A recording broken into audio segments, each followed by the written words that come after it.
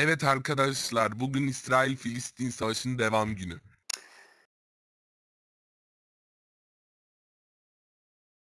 Neden İsrail'e hala destek veriliyor bilinmiyor. De, de, de, de.